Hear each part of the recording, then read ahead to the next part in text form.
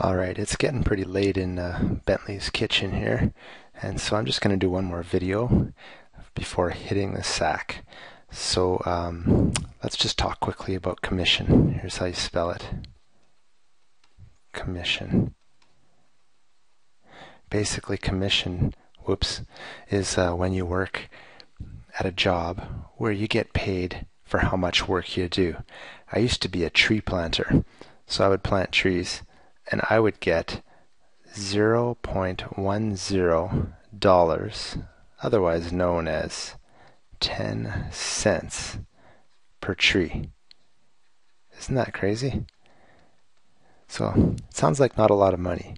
The cool thing is, if I planted um, 4,000 trees in a day, if I took my calculator, you'd quickly realize that I made 400 bucks in a day. True story. Not to brag. It's a good job, but you gotta fly. Anyway, that's commission. You gotta go quick in order to make money. It's kind of good for the employer because they see that their workers work hard in order to make money. They don't uh, sit around and be lazy. But anyway, let's think of a real example here.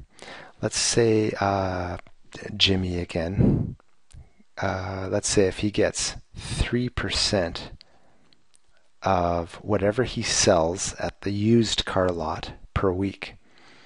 So let's say one week he has it really good. He sells like five cars and he sells like $60,000 worth of used cars. He sells that many, not that many cars, that much in, in terms of money so all you have to do for commission, it's what you already know how to do. Change this into a decimal. 0.03 times that by 60 grand and you've got yourself the answer. So 0.03 times 60,000 this is how much he makes in that week. $1,800. Not bad for some.